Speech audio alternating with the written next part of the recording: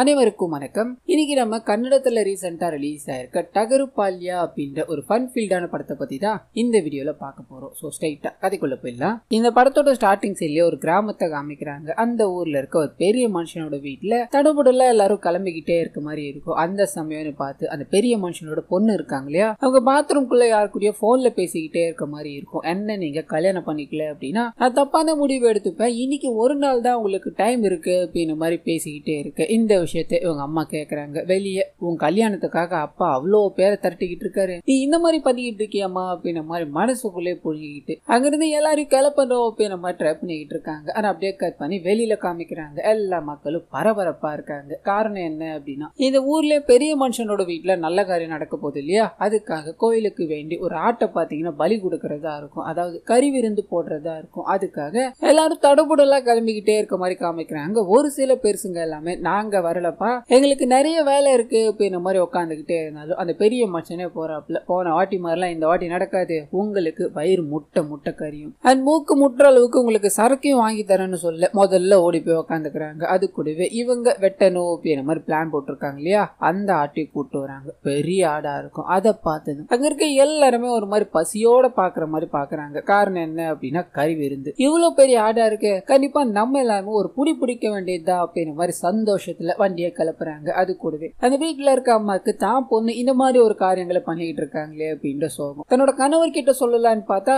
அவர் எந்நேரமும் கூட்டமாவே நின்றுகிட்டு இருக்காரு. ஆனா அப்படியே கட் பண்ணி. ஒரு ரெண்டு டிராக்டர்ல பாத்தீங்கன்னா இவங்க எல்லாரும் போகிற மாதிரி காமிக்கிறாங்க. காட்டுக்கு நடுவுல நீர்வீழ்ச்சியெல்லாம் இருக்கும். அதுக்கு பக்கத்துல தான் இவங்க குலதெய்வம் கோயில் இருக்கு அப்படின்ற மாதிரி இருக்கும். பொருட்கள் எல்லாத்தையும் எடுத்துக்கிட்டு அந்த இடத்துக்கு போய் ரீச் ஆகுறாங்க. And இந்த கதையில பாத்தீங்கன்னா இன்னொரு மெயின் கேரக்டர் இருப்பாரு அந்த வீட்லயே வேலை செஞ்சுக்கிட்டு இருக்கு. அந்த பெரியவரோட சொந்தக்கார பையன் அப்படின்ற மாதிரி இருக்கும். அவர் தான் பாத்தீங்கன்னா இழுத்து போட்டு எல்லா வேலைகளையும் பண்ணிக்கிட்டே இருப்பாரு. யாராவது ஏதாவது திருகள் பண்ணாங்கன்னா அவங்களுக்கு கொஞ்சம் சரக்கு கொடுத்துட்டு வேலைகள் ஆகட்டும் அப்படின்ற மாதிரி பண்ணிக்கிட்டு இருக்காரு. வந்த முதல் வேலையா? ஏற்பாடுகள்லாம் தடபுடலாம் நடந்துகிட்டே இருக்கு. அண்ட் மக்கள் எல்லாருமே ஆட்டை வெட்டி கறி கஞ்சி குடிக்க போறோம் அப்படின்ற மாதிரி உட்காந்துக்கிட்டே இருக்க சமையல்காரரை காமிக்கிறாங்க. ஏண்டா இவ்வளோ பெரிய காட்டுல எப்படா வரவுல சமைக்கிறது? ஒரு கேஸ் அடுப்பு வாங்கி கொடுத்துருக்கலாம்ல அப்படின்ற மாதிரி புலம்ப. யோ அதெல்லாம் தூக்கிட்டு வர முடியாதியா? உனக்கு என்ன உதவினாலும் கேளு அதை தவிர. அது எல்லாத்தையும் நாங்க பண்ணி கொடுக்குறியா அப்படின்ற மாதிரி சரக்கு பாட்டில கொஞ்சம் கொடுத்து இவர் வேலை செய்யும்படி ஒரு பக்கம் அனுப்பி விட்டுட்டுறாங்க இவங்க மத்த வேலைகள் எல்லாமே ஈடுபட்டுக்கிட்டே இருக்கும்போது அங்க இருக்க சாமியார் பார்த்தீங்கன்னா நீர்வீழ்ச்சிக்கு போய் தண்ணி கொண்டு வந்து சாமிக்கு அலங்காரம் பண்ணணும் அப்படின்ற வேலையை பார்த்துக்கிட்டு இருக்காரு. இன்னொரு பக்கம் அந்த பொண்ணோட அம்மா இருக்காங்க இல்லையா? அந்த பொண்ணை தனியா கூப்பிட்டு போய் நீ என்ன பண்ணிக்கிட்டு இருக்க? அப்படின்ற எல்லாம் தெரிஞ்சு போயிடுச்சு உண்மையை சொல்லு. யார் அவன்? என்னடி பிளான் போட்டுக்கிட்டு இருக்கீங்க அப்படின்ற மாதிரி மிரட்டி கேட்டுக்கிட்டே இருக்கு. அவங்க ஒரு கட்டத்துல ஒத்துக்கிறாங்க. உண்மையை சொல்லலான்னு வர கரெக்டா இவங்களோட அப்பா குறுக்க வந்துட்டாரு. அங்க என்ன பேசிக்கிட்டு இருக்கீங்க? இங்க இருக்கிற வேலைகள் எல்லாத்தையும் பாருங்கன்னு சொல்ல இந்த விஷயத்த அப்படியே விட்டுட்டுறாங்க கட் பண்ண ஆடு வெட்டணும் அப்படின்ற மாதிரி ஒரு நபர் அங்க என்ட்ரி கொடுக்குற பெரிய கத்தி. ஒன்னும் கவலைப்படாதீங்க. ஒரே வெட்டு. ரெண்டு துண்டா போவோம். இன்னைக்கு நம்ம கறி கஞ்சி குடிக்கிறோம் அப்படின்ற மாதிரி சரக்க போட்டு ஜம்முன்னு பேசிக்கிட்டே இருக்கு. அதே சமயத்துல அந்த வீட்டுக்கு சொந்தக்கார அப்படின்னு மாதிரி நான் ஒரு கேரக்டர் சொன்னேன் இல்லையா? அந்த கேரக்டருக்காக காமிக்கிறாங்க. இவர் பார்த்தீங்கன்னா மாமா முறையாகும். அதனால மாமான்னு சொல்லிட்டு இவர் அங்கே இருக்கிற எல்லாரும் இழுத்து போட்டு வேலை வாங்கிட்டே இருக்கு. அந்த சமயம்னு பார்த்து மாப்பிள்ளை வீட்டிலேருந்து வராங்க. அவங்க பார்த்தீங்கன்னா கொஞ்சம் ரிச்சான குடும்பம். இது சடங்குகள் சம்பிரதாயங்கள் அப்படின்ற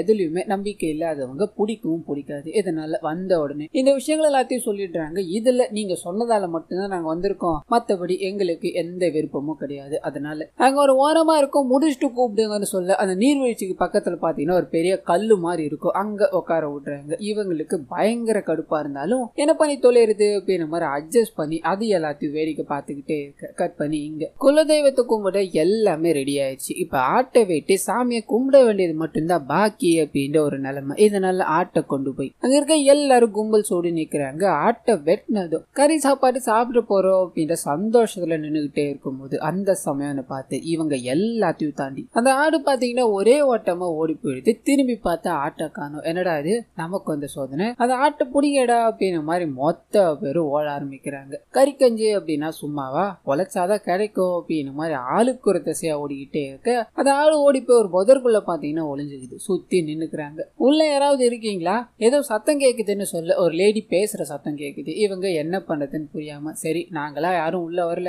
நீங்க இந்த ஆட்டை மட்டும் அனுப்பி விடுங்கன்னு சொல்ல ஆட்டை அனுப்பி விடுறாங்க பிடிச்சிக்கிட்டு மொத்த பேரும் மறுபடியும் கோயில் பக்கத்துல போய் நின்று இந்த வாட்டி எதுவும் மிஸ் ஆக கூடாது அப்படின்ற மாதிரி மோளம் எல்லாத்தையும் அடிச்சு ஆட்டை வெட்டணும் அப்படின்ன மாதிரி தண்ணி ஊத்த ஆடு தலையாட்டினதா வெட்டுவாங்க அப்படின்ன மாதிரி இருக்கு இல்லையா? அது தலையே ஆட்டல. இதனால என்ன பண்ணதுன்னு தெரியாம மறுபடியும் மறுபடியும் தண்ணியை ஊத்தி ஒரு ரவுண்டு ரெண்டு ரவுண்டு ரவுண்டு கணக்குல போய்கிட்டே இருக்கே தவிர அந்த ஆடு தலையை ஆட்டுற மாதிரியே தெரியல. அங்க இருக்க எல்லாருமே வெட்டணும் அப்படின்னு சந்தோஷத்துல இருந்தவங்க டயர்ட் போய் மொத்தமா உட்காந்துட்டுறாங்க அண்ட் மாப்பிள்ளை வீட்டுக்காரங்களும் என்ன இவங்க? நம்மள கடுப்பேத்திக்கிட்டு இருக்காங்களே அப்படின்ற தோரணையில இது எல்லாத்தையும் பார்த்துக்கிட்டே இருக்கு. அங்க இருக்க பூசாரும் இது முடியாது. பேசாமல் ஆளுக்கு ஒரு பக்கமா உட்காந்து ரெஸ்ட் எடுப்போம் அப்படின்ற மாதிரி தங்களோட வேலைகள் எல்லாத்தையும் விட்டுட்டு அமைதியா பசியில உட்காந்துக்கிட்டு இருக்காங்க. ஆடி எப்போ தலையாடுறது நம்ம எப்போ சாப்பிட்றது அப்படின்னு. அந்த சமயத்தில் தான் கல்யாண பொண்ணு யாரையோ லவ் பண்ணிக்கிட்டு இருக்கு. அது நமக்கு தெரியாம இருக்கு அப்படின்ற மாதிரி அவங்க அம்மா வலை வீசி பார்த்துக்கிட்டே இருந்தாங்க இல்லையா? அது யாருன்னு தெரிய வருது. இவங்க கூடவே சொந்தக்காரரா இருக்க மாமா அப்படின்ற மாதிரி இருக்கார் இல்லையா? அவர் தான் அவரை பார்த்ததும் இவங்க பயங்கர ஷாக் ஆயிடுறாங்க. இப்படி துரோகத்தை பண்ணிட்டு உன்னை என்ன பண்ற பாரு அப்படின்ற மாதிரி அவங்களோட புருஷன்கிட்ட வேக விஷயமா சொல்லான்னு போக அங்க நிறைய மக்கள் பசியில உட்காந்துக்கிட்டு இருக்காங்க இல்லையா? அதுல ஒரு லேடி என்ன பண்ணுதுன்னு தெரியாம பயங்கரமா சாமி வந்த மாதிரி ஆடிக்கிட்டே இருக்காங்க. இதனால இந்த மனுஷன் பிஸியா இருக்காப்புல. தான் மனைவி சொல்ல வர விஷயங்கள் எதுவுமே கேட்கல அங்க சாமி வந்து ஆடிக்கிட்டு இருக்க லேடி பாத்தீங்கன்னா பயங்கரமா பசிக்குது. எனக்கு ஏதாவது கொடுங்கன்னு சொல்ல தயிர் சாதத்தை எடுத்துட்டு வந்து வைக்கிறாங்க. வயிறு முட்டை சாப்பிட்டு சாமி பறந்து போச்சுன்னு சொல்ல அங்க இருக்க எல்லாருமே பசியில தான் இருக்காங்க. ஆனா அந்த சமயம்னு பார்த்து இவங்கள மாதிரியே வேற ஒரு டீம் கோழி வெட்டி கடவுளை கும்பிடணும் அப்படின்னு மாதிரி வராங்க. அவங்க கையில இருக்க கோழியை பார்த்து என்னங்க? இதெல்லாம் ஒரு பரிகாரமா? நாங்க வெட்ட போறோம் ஆடு அது எப்படி ஒரு இருபது கிலோ வரும்னு நினைக்கிறேன். தாராளமா எங்க கூட நீங்க சாப்பிட்டு போலான்னு சொல்லு. அவங்க மேலையும் கீழே பார்த்துக்கிட்டு சரின்னு தலையாட்டுறாங்க. இன்னொரு பக்கம். அந்த மாப்பிள்ளை வீடு இருக்காங்க இல்லையா? அவங்க இது எல்லாத்தையும் பார்த்துக்கிட்டே இருக்காங்க. பயங்கர கொசுக்கடியா வேற இருக்கும். என்னங்க நீங்க? கூட்டு வந்து வெறுப்பேத்துறீங்க. நான் அப்பவே வரலன்னு தான் சொல்லிட்டு இருக்கேன் அப்படின்னு மாதிரி மறுபடியும் மறுபடியும் அதை பத்தி புலம்பிக்கிட்டே இருக்க. பொண்ணு வீட்டுக்காரங்க இல்லமா கொஞ்ச நேரத்துல முடிஞ்சிடும் அந்த ஆடு தலையாட்டுற வரைக்கும் தாமா பிரச்சனை அப்படின்னு மாதிரி சொல்லி ஆட்டுக்கிட்ட போறாரு. உனக்கு என்னப்பா குறை வச்சா? கடவுளே ஏன் எனக்கு இந்த நிலைமை? உனக்கு தங்கத்துல காப்பு போடுற ஏதாவது பண்ணி முடியான்னு சொல்லி மறுபடியும் தண்ணி எல்லாத்தையும் ஊட்டி ஆட்டை வெட்டலான்னு போக தலை ஆட்டவே இல்லை. பயங்கர அப்செட் இதனால என் பொண்ணுக்கு ஒரு நல்ல வாழ்க்கை அமையணும் அப்படின்னு மாதிரி நான் இதை பண்ணிக்கிட்டு இருக்கேன். ஆனா கடவுள் சம்மதம் கொடுக்க மாட்டாரு அப்படின்னு மாதிரி புலம்பிக்கிட்டே இருக்கு. இந்த விஷயத்த இந்த நபரோட மனைவி கேட்கறாங்க ஃபீல் பண்றாங்க. அண்ட் மாமா இருக்காரு இல்லையா? அவரும் கேட்கிறாரு நம்ம பண்ணிக்கிட்டு இருக்கிறது தப்பா இருக்கோ அப்படின்னு மாதிரி ஃபீல் பண்ணிக்கிட்டே இருக்கு. அப்பதான் அங்க இருக்க சாமியார் பாத்தீங்கன்னா நீங்க உங்க ஃபேமிலியோட வந்து வந்து வேண்டிக்கிற அப்படின்னு தானே சொன்னீங்க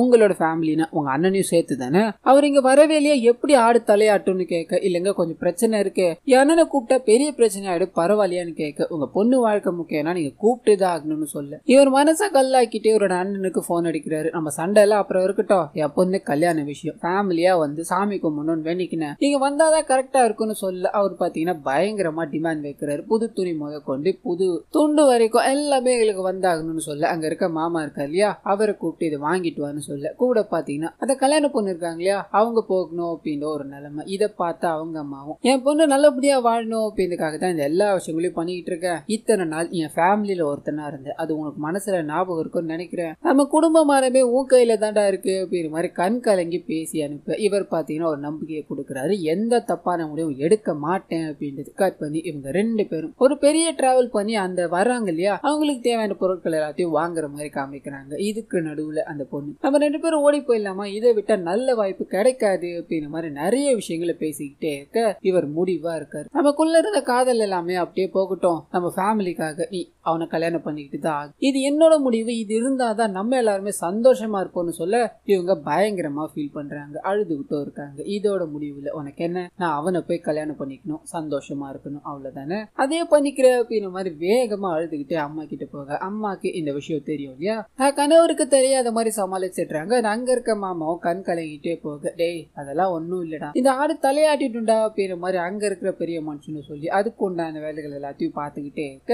அப்படியே கட் பண்ணி இவரோட அண்ணாவோட என்ட்ரி இவரோட அண்ணன் பையன் பார்த்தீங்கன்னா பயங்கர போதையில இருப்பாரு. அண்ணாவும் போதையில தான் இருப்பாரு. எல்லாரும் சேர்ந்து குளிச்சுட்டு புது துணி எல்லாத்தையும் போட்டுக்கிறாங்க. இப்ப வெட்டுறா ஆடு எப்படி தலையாட்டுதுன்னு பார்க்கல அப்படின்ற மாதிரி தண்ணி எல்லாத்தையும் ஊத்தி அங்க இருக்க எல்லாருமே மனசை கல்லாக்கிட்டு இந்த வாட்டியாச்சும் தலையாட்டுறாதா அப்படின்ற மாதிரி எழுந்து நிற்க மோல பயங்கரமா அடிச்சுக்கிட்டே இருக்காங்க. ஆடு நவுற மாதிரியே தெரியல. நடா அது யார் வந்து நிலாலும் தலையாட்ட மாட்டிக்குதாடா அப்படிங்கிற மாதிரி பயங்கர அப்செட்ல உட்காந்துக்கிட்டே இருக்கும்போது அங்க இருக்கிறவங்க இது எல்லாமே மாப்பிள்ளை வீட்டுக்கும் சேர்த்து தானே செய்யறோம் அவங்க தூரமா ஒதுங்கி நின்னா என்ன அர்த்தம்? அவங்களே வர சொல்லுப்பான்னு சொல்ல. அந்த பெரிய மனுஷன் ஓடி போய் காலில் விடாத குறையா கேட்டு இது மேல உங்களுக்கு நம்பிக்கை இல்லைனாலும் பரவாயில்ல எங்களுக்காச்சும் வாங்கம்மா. இன்னும் எல்லா சொத்துமே என் பொண்ணுக்கு தான் அப்படின்ற மாதிரி இருக்கு இல்லையா? நான் அதுக்கு மேலேயும் தரேன். அதுக்கு இந்த சின்ன சனகு பண்ணிதாம ஆகணும் அப்படிங்கிற மாதிரி கம்பல் பண்ணி கூட்டு போய் நிறுத்த மாப்பிள்ளைய காமிக்கிறாங்க அவன். ஒரு மாதிரி சிடுமூஞ்சித்தனமா நின்னுகிட்டே இருக்கான். அந்த சமயம்னு பார்த்து போதையிலேயே ஒரு நபர் நின்னுகிட்டு இருக்காரு அப்படின்ற மாதிரி சொன்னேன் இல்லையா? அவர் வந்து என் தங்கச்சியை நல்லா பாத்துக்கோங்க இல்லைன்னா வெட்டி வங்குந்துருவேன் அப்படின்ற மாதிரி மிரட்டிக்கிட்டே இருக்க தெரியாம வாந்தி எடுத்துட்டாரு. இதனால அங்க ஒரு சின்ன தள்ளுமுள்ளு. மாப்பிள்ளை வீட்டுக்காரங்க கிட்ட பிரச்சனை பண்ணாதீங்க அப்படிங்கிற மாதிரி அங்க இருக்க பெரிய மனுஷன் எவ்வளவோ ட்ரை பண்ணி பார்த்துக்கிட்டே இருக்க. ஆனா இவங்க சத்தம் போட்டுக்கிட்டே இருக்காங்க நிறுத்துற மாதிரியே தெரியல. இதனால மாப்பிள்ளை வீட்டுக்காரங்க கடுப்பாயிடுறாங்க. உங்ககிட்ட எல்லாம் பேச்சு வச்சு பேசிக்கிட்டது எங்க தப்பு தான் அப்படிங்கிற மாதிரி வாய்க்கு வந்தபடியெல்லாம் பேசிக்கிட்டே இருக்கு. பெரியவர் என்ன மன்னிச்சிருங்க இந்த காலில் விழுந்து மன்னிப்பு கேட்டுக்கிற அப்படிங்கிற மாதிரி காலில் விழலான்னு போக அவரோட பொண்ணு தடுத்து நிறுத்துறாங்க. பயங்கரமா எமோஷனலா பேச ஆரம்பிக்கிறாங்க. என்னோட அப்பா மரியாதை தான் எனக்கு முக்கியம். எனக்கு இந்த கல்யாணமே வேணாம்ப்பா. என்னோட ஆசைக்காக நீங்க கல்யாணம் பண்ணி வைக்கிறதா இருந்தா என் மாமா கூடயே கல்யாணம் பண்ணி வைங்கப்பா. என்ன அவர் விவசாயம் பார்த்துக்கிட்டு இருக்காரு அப்படிங்கிற மாதிரி நீங்க சொல்லலாம். விவசாயி அதாவது நாட்டுக்கே சோறு போடுற விவசாயி. எனக்கும் என் குழந்தைங்களுக்கும் போடாம விட்டுருவாரப்பா. உங்க சந்தோஷத்துக்காக எங்களோட காதல் அவர் வேணான்னு சொல்லிட்டாரு. இந்த ஒரு நல்ல குணம் போதாதப்பா அப்படிங்கிற மாதிரி இவங்களுக்குள்ள ஒழிச்சு வச்சுக்கிட்டு இருந்த எல்லா விஷயத்தையும் எடுத்து போட. அங்க இருக்க எல்லாருக்குமே ஒரு மாதிரி சந்தோஷமா தான் இருக்கு. அண்ட் இவங்களோட அப்பாவும் முதல் வேலையா பெங்களூர்ல இருந்து பூச்சின்னு வந்தாங்க இல்லையா மாப்பிள்ளையா அவரை அடிச்சு துரத்திட்டு. தான் பொண்ணுக்கு பிடிச்சவனே கல்யாணம் பண்ணி வைக்கணும் அப்படிங்கிற மாதிரி முடிவு பண்றாரு. அவரை கூப்பிட்டு என் பொண்ணை கண் கலங்காம பாத்துப்பியான்னு கேட்க உங்களையும் சேர்த்து பார்த்துப்போமான்னு சொல்ல. அங்க இருக்க எல்லாருமே பயங்கர ஹாப்பி ஆயிடுறாங்க. அது கூட. நம்ம சாமி இதுக்காக தான் உத்தரவு கொடுக்காம நின்றுகிட்டே இருந்தது போல நம்ம சாமியால நீங்க ஒன்று சேர்த்துட்டீங்களேப்பா அப்படிங்கிற மாதிரி பேசிக்கிட்டே இருக்கு. பயங்கரமாக மழை பெய்ய ஆரம்பிக்குது. எல்லாரும் செதறி ஓடுறாங்க. அந்த ஆடு மட்டும் அங்கேயே நின்றுக்கிட்டே இருக்கு. இவ்வளோ நேரம் வரலையோ தலையே ஆட்டாமல் இவங்களை போட்டு படாத பாடு படுத்துக்கிட்டே இருந்தது இல்லையா? இப்போ இந்த தண்ணி அது மேலே பட்டது. தலையை ஆட்டுற மாதிரி காமிச்சு. இந்த உண்மையான காதல் ஜோடி ஒன்று சேரணும் அப்படின்றதுக்காக கடவுளால் அனுப்பப்பட்ட ஆடு தான் இது. அதுக்காக தான் இவ்வளோ விளையாட்டுகள் நடந்துகிட்டு இருந்தது அப்படின்ற மாதிரி காமிச்சு இந்த படத்தை பார்த்தீங்கன்னா இதோட முடிக்கிறாங்க. ஸோ கண்டிப்பாக இந்த படமும் என்னோட வாய்ஸ் வரும் உங்களுக்கு பிடிச்சிருக்கோ அப்படின்ற மாதிரி நம்புறேன். இதே மாதிரி நிறைய மூவிஸ் அண்ட் சீரிஸோட எக்ஸ்பிளனேஷனை நீங்க பார்க்கணும்னு ஆசைப்பட்டீங்கன்னா மறந்துடாம நம்ம சேனலை சப்ஸ்கிரைப் பண்ணி அப்படியே பக்கத்துல இருக்க அந்த பெல்லைக்கான கிளிக் பண்ணிக்கோங்க.